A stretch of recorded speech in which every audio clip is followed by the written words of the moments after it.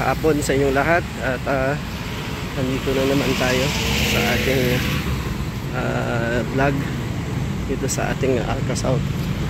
At uh, maraming salamat sa inyo lahat sa inyong panonood sa aking mga nakaraang video. At uh, pa-shoutout sa mga lahat ng mga nanonood dun sa uh, video ko sa uh, Manila Bay. Kumbaga eh dito ulit tayo buha ng video dito sa Aracas ulit. Napakaganda. At uh, kunin natin yung mga views dito. Kung meron Manila Bay sa Manila at sa Caluneta. Dito naman sa Tagig ay meron din Arca South. Pinapasyalan talaga ng mga tao. Kumbaga parang nagmamanila Bay ka na rin lang din at walang dagat dito.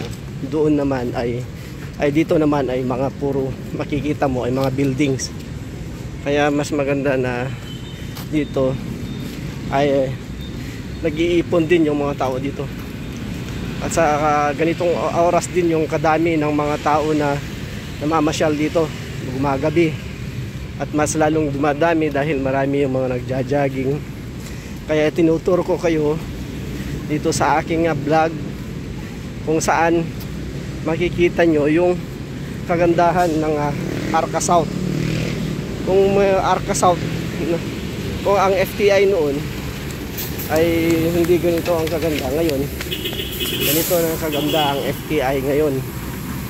Ito, kaya sinasabi ko sa inyo na uh, magkasalungat yung uh, mga namumuno noon sa mga namumuno ngayon dahil noon hindi nila pinapaganda ang ang uh, ang tagig eh sa ngayon ay ito na yung pinagawa na nila. Puspusan na ng pagpapaganda. Okay. So tatawid lang tayo dito sa ating uh, tawiran. Kasi maraming mga sasakyan. Ito uh, kinukuha ko yung mga uh, para gilid ng Arca South. Actually dito ang gilid ito.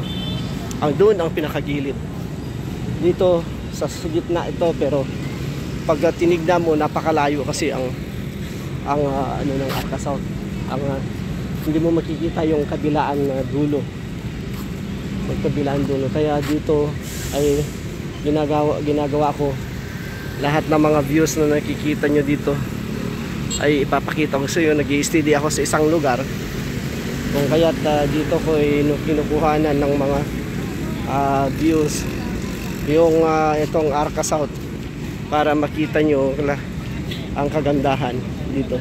Mamaya naman dun sa kabila naman ako dadaan para makita naman ang views dito sa aking dinadaanan. Kumbaga yung sa kabila yun ang kinukuha ng ko view. Kaya napakaganda kapag ka makita mo ang view ngayon ng Arca South ngayon. Yan. Yan ang Arca South yan. Napakadaming tao. Kumbaga eh talagang uh, daily routine na ito. Walang uh, patid ang mga tao araw-araw. Kung namasyal ka dito para ka na rin nagpunta sa Manila Bay oh. Sa Manila Bay na araw-araw. Eh, sa Manila Bay kasi ay alas 6 sinasara na nila yung uh, Manila Bay.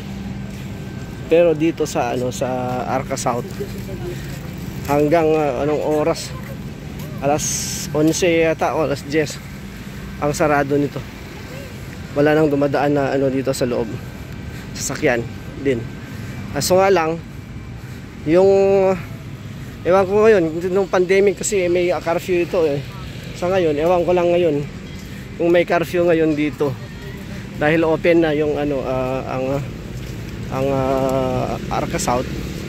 Open na, wala nang uh, restriction sa pandemic. Kaya hindi ko alam kung meron pang uh, curfew dito. Kaya uh, uh, susubukan ko na na kausapin yung ano, gwardiya mamaya. Kung tuloy-tuloy pa rin ang pagdaan ng mga sasakyan dito kahit sa gabi. One time kasi na dumaiting ako nung nakaraan nun 11 o'clock. Dumaan pa ako dito. Meaning to say ah, ang ah, ang Arca South na ay open na siguro sa mga gabi. Dito lang sa ah, Boulevard, Arca Boulevard ang daan. Kasi wala naman ibang daanan. At tagus na naman to. Itong daan na to ay tagus naman sa Pasig, sa Pasay. Palabas na ng tenement. Kaya napakaganda. At ah, kung makikita nyo dun sa aking nakaraang vlog na yung ang aking uh, pinakinukuhanan ng mga ng views dito lagi. At ah, idaan ko kayo sa mga napakaraming tao talaga hindi talaga ma mga putol-putol hindi pa talaga araw-araw talaga ay meron maraming tao dahil lang sa ano dun sa kagandahan ng mga views kahit umuulan sisilong lang sila sa building mamaya babalik na naman dito sa playground ng uh, Arca South. Dahil napakaganda. Yung mga sina, ginagawa ko dito hindi nga sabi ko sa inyo hindi ako nagsasawang kukuha ng mga uh, the, uh, uh, kukuha ng mga views. Dahil dito yung napakaganda. At uh, saan ka pa? Kung dito ka man lang na mag ano ng video kukuha ng video dito ka na lang sa tagig. Yan. Yan. Yan. Kaya nga dito araw-arawin ko sabi ko pero hindi once tat, tatlong beses lang ako pupunta dito sa isang linggo kukuha ng video at uh, dadaan ako dun sa mga hindi pa hindi ko pa nadaanan na hindi ko pa kayo na itur sa pamamagitan ng uh, videos o kaya vlog. Okay? Yan. Mga nagbibisikleta dito dumadaan. Mga nagmomotor mga nagbibisikleta dito sila nagpa-practice eh. Ba? So yan. Eh mamaya pag umilaw na to yan magaganda na yung mga ano yan may ilaw na pala. Nabuksan na yung ilaw. Yung palubog na si Haring Araw ay nandun na siya. Kung uh, nandun ka sa Manila Bay. Sa west. Banda ng west. Ka makakakita makikita mo yung paglubog ng araw. Dito ay give vlog ko to mga ano. Uy dito ka pala nagtatambay ah nagbablog ako eh sa ano yung ano mo tambay ka lang ah ka Maganda hangin dito yun, oh. Oo nga, eh, maganda. Dito ako nag, ah, ano, isang beses, ah, dalawang beses sa isang linggo eh. Para i-vlog ko. Saan pa ba nag-rally natin? Kay BBM? Dito, dito. Yan, yan, yan, yan, yan, na, nasarahan na yan. Yan, oh. Yan na yun. Kala ko kung asan, asan, uh, sino, pag sino tong nakaupo, parang kilala ko ah. Sabi ko, Ganun dito eh. maganda nga. Oh, kaya nga, ano, gagawa ako ng, ano, vlog ko para, ano, maganda yung mga site eh. Mga building na. Na ikutin ko muna. Ito. Saan ka ba nag, ano, tatrabaho? Sa veterans ko yan. Ay, sa veterans. Bababa, dyan, doon ka dadaan, no? Pwede na dito. Sige. Sige. Yan, ah, kakilala natin, kapitbahay natin sa ating ano. So, nakita ko, tatambay, naglalaro pa. Kaya, kukuha ako ng ano dito, ng ah, video dito. Yan, yan ang mga dulo ng ah, ating yung parke na kinukuhanan natin. Mas napakaganda kasi eh, kung papansinin mo, ayan mga nagbibisikleta. Yan, mga ano, na natin sila ng, ano, ng video.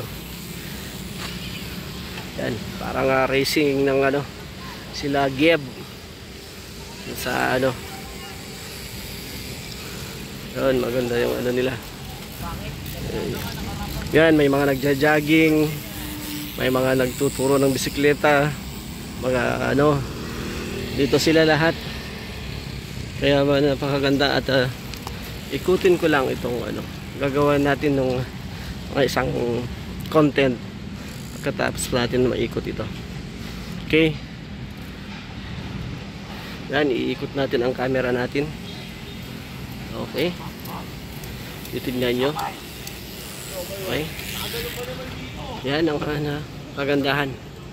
Okay, maraming salamat at ah, mabuhay kayo sa ating ah, first ah, vlog uh, dito sa ating Arca South. Okay.